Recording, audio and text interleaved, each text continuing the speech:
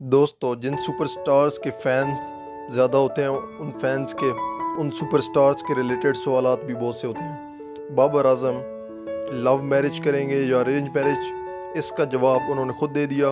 यानी बाबर आज़म की शादी अपनी चॉइस से होगी या वलदैन की चॉइस से।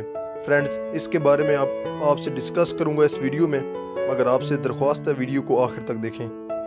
फ्रेंड्स जैसे कि आप जानते हैं कि बाबर आज़म 2020 में पाकिस्तान की तरफ़ से गूगल पर सबसे ज़्यादा सर्च होने वाली पर्सनैलिटी हैं। बाबर आज़म पाकिस्तान की टी ट्वेंटी और ओडियाई के कैप्टन हैं और टेस्ट में वाइस कैप्टन हैं। पाकिस्तान के इस कप्तान की शादी इस वक्त तमाम सोशल मीडिया प्लेटफॉर्म्स पर ट्रेंड बनी हुई है। इससे रिलेटेड जब इंस्टाग्राम पर एक लाइव सेशन के दौरान शेब मलिक ने बाबर आज़म से पूछा कि क्या आप अपनी शादी अपनी मर्ज़ी से करेंगे या वालदेन की मर्ज़ी से। यानी आप लव मैरिज करेंगे या अरेंज मैरिज तो इसका बड़ा मासूमाना उन्होंने जवाब दिया और शर्माते हुए कहा कि मैं अपनी शादी अपने वालदेन की मर्ज़ी से करूँगा।